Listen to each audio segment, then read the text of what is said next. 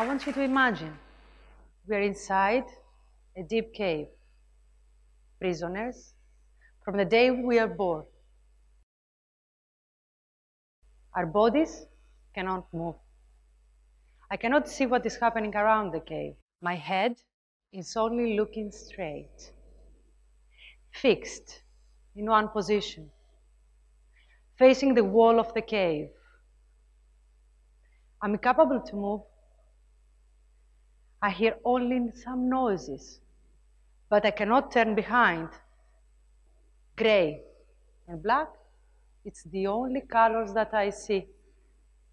The people on the back carrying models of wood and stone, of trees, animals, people, figures. Now what you see in front of you? This is a shadow of an eagle. Look, a shadow of a horse and a shadow of a, of a tree, all gray. Somebody is coming to get me. He drags me to the exit and slowly, slowly I open my eyes and I see the true colors. I see the true colors of the sea.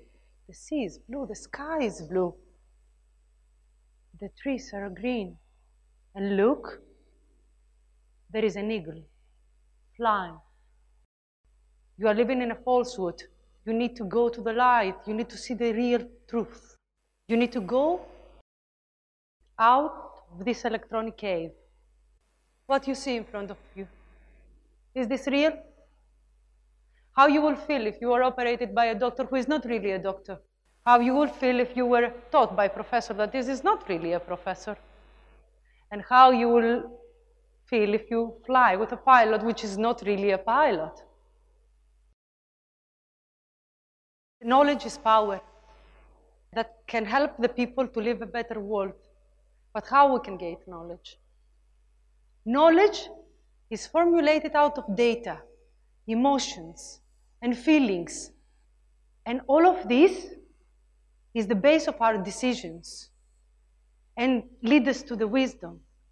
How you will feel, imagine if you have true, immutable, validated information and transparent. Are you going to make the same decisions? No, because now you will have the power. Did you know in 2018, the US Department of Health and Human Services announced the largest healthcare fraud involving 600 people. Among them, 165 uh, doctors and medical professionals for false in billing, but also for falling diagnosis of more than 3,000 patients. In 2013, according to BBC, there were 3,000 certificates sold to UK buyers, and it, they were included MSCs and PhDs there. In 2020, Pakistan International Airlines grounded 150 pilots over the claims that they may not hold a valid license. Every day, records are stolen or lost in this page. Every day, 6 million. Every hour, around 258,000. And every minute, around 4,000. Because my background is risk management, as you heard, from a young age, I learned to develop a mindset to always exploit opportunities and manage threats. I always remember myself having these if-then statements in my mind. If this happened, what? So if you ask me today, what is the best tool of storing, managing data in a chronological order, immutable, secure, validated, and which is the best tool of fighting the risk of fraud, mismanage of information, but also exploit opportunities of collaborating with people, it's called blockchain. So when I used to work in Rolls-Royce, I used to lead a project for low probability and high impact risks for the global supply chain, uh, such as a pandemic. Yeah? So this this uh, project made me to realize and understand how important it is for organization to be prepared and be proactive rather than reactive. So this project gave me the opportunity to understand the importance of a visibility of immutable information in case of a crisis. Believe me, it's very crucial. Japan earthquake, it gave me the opportunity to see how important is to be prepared. Trust your colleagues, suppliers, and be in an ecosystem that can work as a part of the whole. In other words, as we Greeks say it, the olon.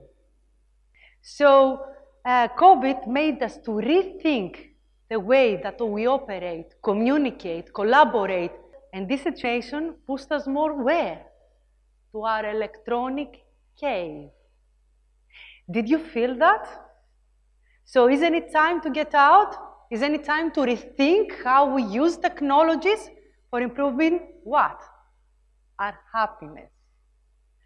The happiness of the whole, of the olon. So blockchain is bringing us one step further where? To the olon. So what is blockchain? So blockchain is an uh, append database, as, my, as Prof. Marinos Themistocleous just described it yesterday. But for me, it's a magic book.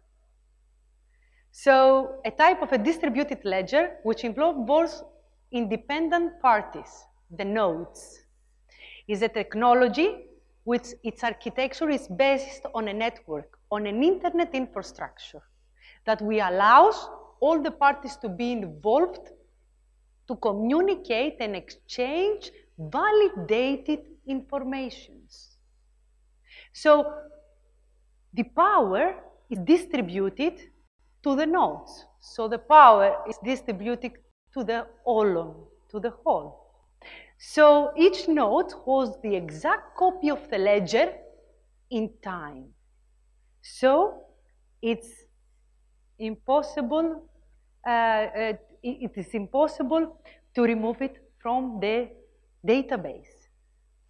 A hashing function is really, really important that, on that. But there is nothing more like a timestamp. You know, have you, do you know, when I was in England, I used to ask my mother, okay, I need to save this document in time. And she said, okay, just go to the post office, seal it, send it with the national post office, just make a picture next to a, to a newspaper, and it is time-stamped as well. So, this is the timestamp function for verifying authenticity of the document. And actually, this is invented back on the 90s by Haber and Stornetta, so it's nothing new. So remember, blockchain is a chain of blocks. Each block two leads to another. So each block incorporates the hashing function to, of the previous one. And we can trace back to the first block, which is called the genesis. Again, I know I'm Greek, which is called, it's the work, the Greek work, which is symbolized the birth. So documents can be hashed and stored in the blockchain, like this. So in general, blockchain is a peer-to-peer -peer, mm, system that makes the use of the proof of work in general. I know there is other uh, types. When a new transaction is initiated, is communicated to all the nodes participants in the network, each node collects the data and solve the proof of work. The first one that is going to solve the proof of work, uh, it's, a, it's communicated to the rest of the nodes, and the rest of the nodes accepting, validating the transaction, and they work on developing the next block in the chain. So, you may heard him, Satoshi Nakamoto is the father of the blockchain. Just to let you know, transmission protocols and internet protocols were invented back in the 60s so the, a decentralized way was already invented on the 60s. So what Satoshi Nakamoto did, he worked on a cryptographic hash in a peer-to-peer -peer network for transferring, transferring information with trust. So some, they call it the trusted layer of the internet. So is this the tool that we will bring us back the color of the eagle and the color of the, of the sky? For many, blockchain is synonymous with Bitcoin, but this is the only, its first application, Another application, very important, that it is now widely used, is called the smart contracts. It's self-executed, immutable contracts, uh, which do legal documents that stored in the blockchain. This way will allow untrusted parties to reach in, a, in an agreement. So the future, we're never going to say anymore save it, but we're going to say block it. So there is different blockchain platforms around, and you need to use whatever blockchain platform is better on the situation that you are in. So what we use in the British University in Dubai? Back in 2017, we worked with the University of Nicosia and we implement one of their solutions uh, for, uh, for academic certificates. But um, uh, University of Nicosia is doing that from 2014. They're also accepting bitcoins by then as a form of payment. And uh, it's a simple process. Simplicity is important. It's just what you see, a document. A document that is issued by us with digital fingerprints, with, um, with a blockchain proof, and disseminated to, to our students in a form of a PDF uh, with metadata. If somebody wants to validate this process, you need to go back to our internet web page, upload this PDF, and then voila, the validation. But you know what? Blockchain is not only that. Blockchain is an asset that can open us the opportunity and the potential of a new model in education. So I imagine a university, the University of Olon, a university that all internal operation and administration process will run with the use of blockchain. A decentralized university that will have decentralized research, that will have decentralized programs, will have decentralized academics. A worldwide university that will allow knowledge to be created and communicated and to be available to all because knowledge is power and it belongs to the all. The whispers of blockchain, depending again on its simplicity, on your engagement, on the people engagement, on the government support. And we are lucky. We live in Dubai, which is embedded blockchain in their blockchain in, in their strategy from 2016. We are all a part of something greater of ourselves. We are part of the whole, the Olon. But to live well, we need to function as a part of Olon. You know, a damage to a cell can cause a damage to the whole organ. So we have a responsibility to be true, real, and keep the whole system healthy.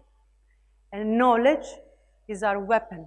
Plato taught his students that all of us want to be a part of something higher, which the world that we see is only a small part.